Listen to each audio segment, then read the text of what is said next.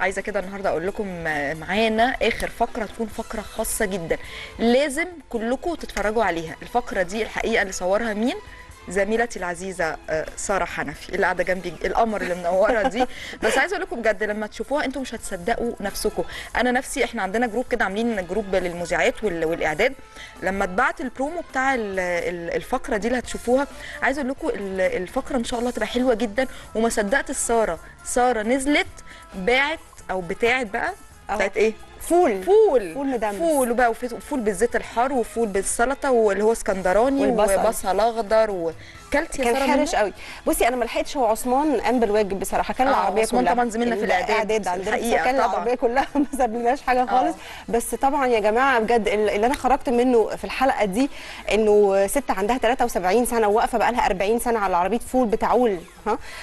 14 ولد منهم شاء الله. 40 حفيد هي اللي بتصرف عليهم. طبعا هم بيساعدوا بيساعدوها في الشغل. بس حقيقي لما واحدة عندها 73 سنة وبتشتغل الشغل المتعب والمرهق ده بتقول لي أنا بنام على نفسي وأنا واقفة. يا عيني. يعني مش عايزة بقى أشوف شباب عندهم عشرينات أو ثلاثينات بيتذمروا من عدم وجود شغل أو بيتذمروا إن هم بيشتغلوا والإنكم بتاعهم مش على قد المجهود اللي هم بيعملوه. ف... آه، فدي مشكلة. بس أنا بناشد كل المسؤولين اللي بيتفرجوا علينا في عسل أبيض. أرجوكوا حاولوا إن أنتوا تساعدوا الست دي هي عندها طلب واحد بس. عايزة تصريح عمل. تصريح عمل لأن هي بتشتغل مهنة أو بت... يعني بتمتهن مهنة شريفة جدا بتعول جوزها المريض وبتعول أولادها وال40 حفيد. طب ده طلبات هي محتاجه يعني محتاجة تصريح بس. مش ط- هي مش عايزة حاجة يعني هي مش عايزة مثلا حد يصرف عليها مش عايزة رجال أعمال ت...